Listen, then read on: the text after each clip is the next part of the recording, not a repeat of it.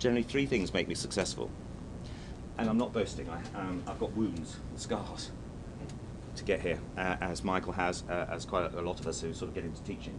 Uh, we're here not because we want to tell you how clever we are, we want to tell you we're, we're here because we want to tell you we're survivors.